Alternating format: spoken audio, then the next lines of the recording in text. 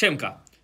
Witajcie w nowej serii Null Pointer Exception, czyli serii, w której będę pokazywał błędy, które spotkałem gdzieś w kodzie lub też sam musiałem je naprawić i zajęło mi to dość dużo czasu na to, jak szybko było trzeba naprawić dany błąd.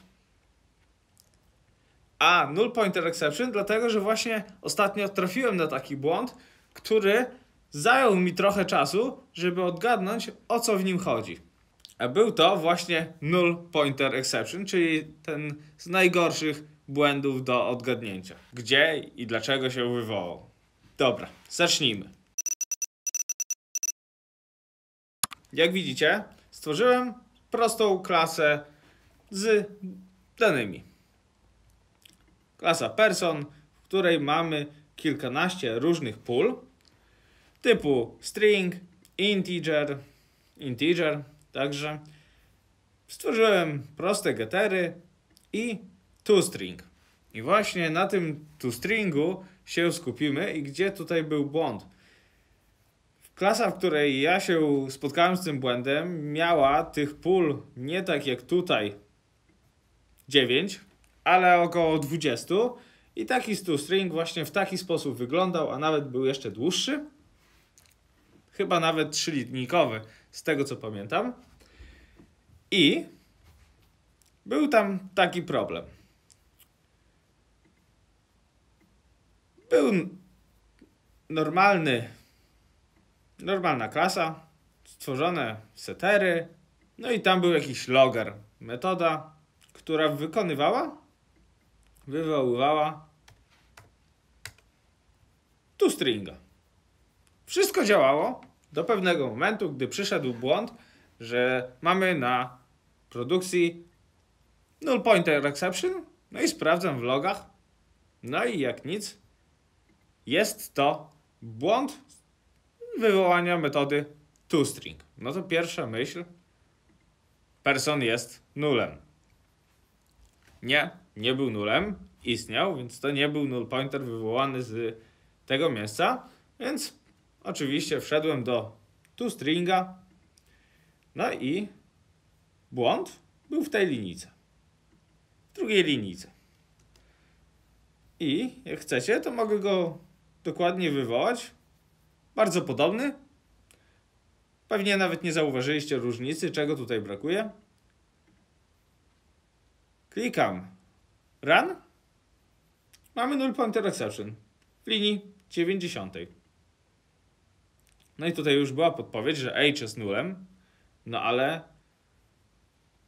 w logach nie miałem tego, że to jest dokładnie h jest nulem, tylko któraś z tych wartości. Tych wartości w tej linii było bardzo dużo.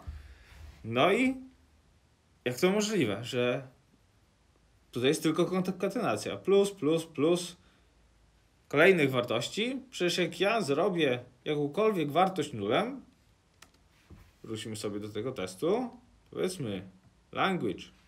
Null. Może do tego działającego. Language. Null. Albo wszystko działa. Działa. Tutaj mamy gdzieś, że language jest nulem, bo jest wykonywana metoda na takim obiekcie, na każdym z tych obiektów w stringu przy konkatenacji jest on opakowany w string value of. No i tutaj jest ten obiekt wrzucany. Jak wejdziemy sobie do implementacji tej metody, to zobaczycie, że tutaj jeśli jest nulem, no to zwróci nam wartość null. A jeśli nie jest nulem, no to tu string. No to o co chodzi? Przecież w każdej wartości, także w integerze, bo zobaczcie, jeśli wezmę sobie taką wartość null wstawię w integera, nadal kod działa. Zobaczcie tutaj, gdzie mam deposit amount równa się null. String.value of nadal działa, więc o co chodzi, że w tej linii jest tam null pointer exception. Pierwsza myśl, jak to zobaczyłem, na pewno mam złe źródła kodu i To, co ja ściągnąłem, jest może w innej wersji i tam na produkcji jest po prostu inna wersja aplikacji. Sprawdziłem, oczywiście była ta sama. No ale sprawdzam tak dalej, sprawdzam, patrzę, co tutaj się w tym person jest nie tak. Wszędzie jest konkatenacja, no ale doszedłem, że właśnie, jak tutaj może nie zauważyliście, tutaj brakuje wieku. Set age. Tam jest po prostu nulem, no bo jak nie ustawię, no to jest nulem. Jeśli ustawisz jakiś wiek, no to kod nam działa. Jeśli wiek jest nulem, no to mamy null pointer exception. No ale w deposit mogłem wstawić null, też integer. Więc jaka była różnica? Wejdźmy sobie jeszcze raz do tego toStringa. Person. No i ty, teraz już wiecie dość dużo.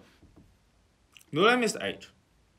Dlaczego age wyrzuca nam null pointer exception? Przecież jest skonkatynowany, tak jak deposit amount, tak jak children amount.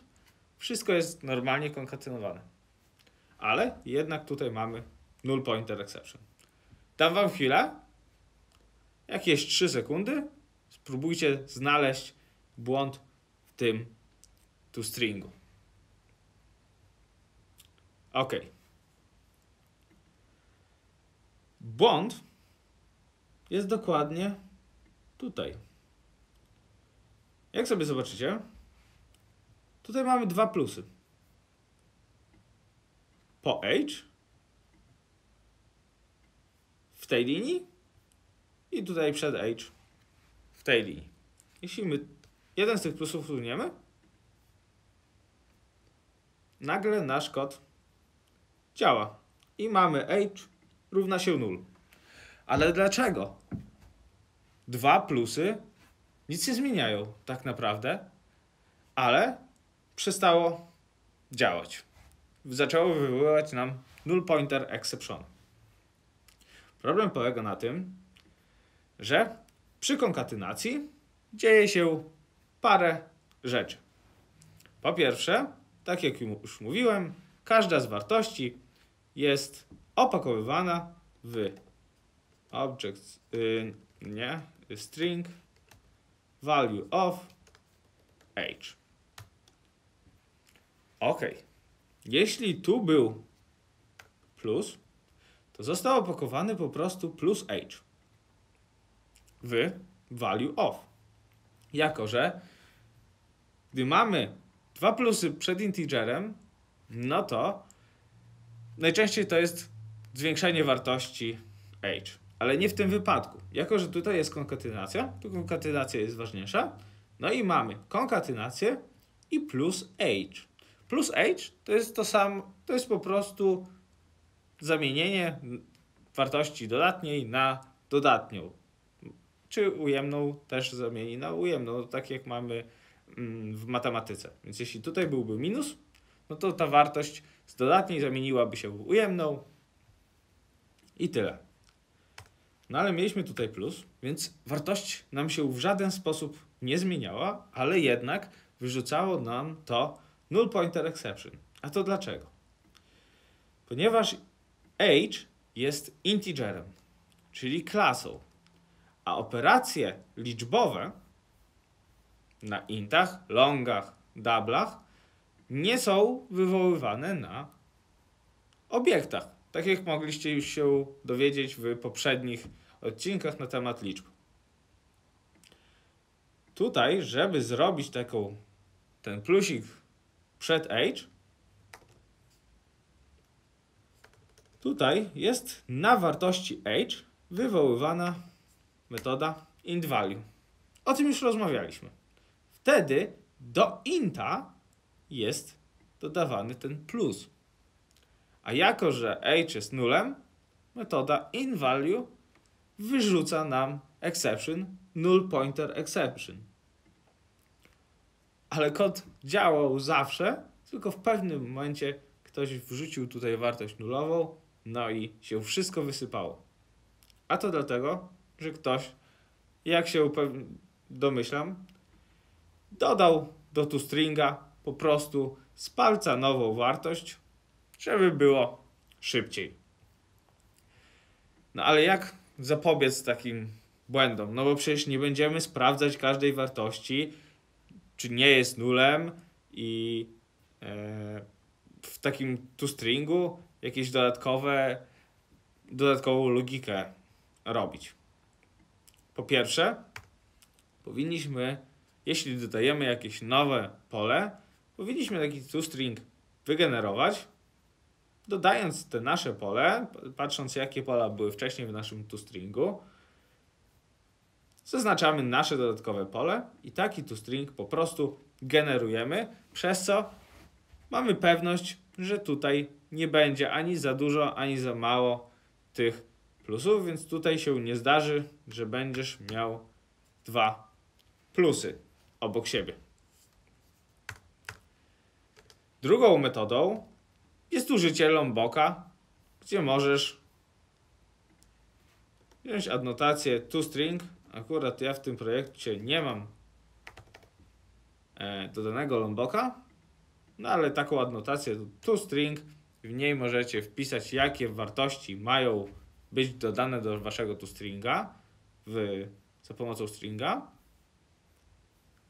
i on sam wygeneruje wam taki toString.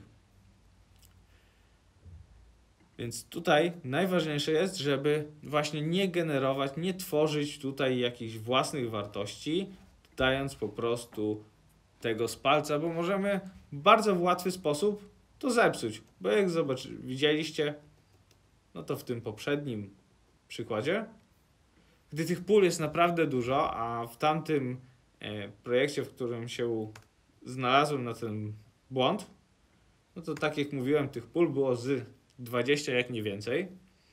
I te tu stringi kończyły się jeszcze dalej, bo tak naprawdę to one trwa... musiałem aż scrollować w drugą stronę i tam na końcu był ten plus, bo właśnie ktoś dodał sobie taki jedną wartość gdzieś na początku, no i wszystko zepsuł.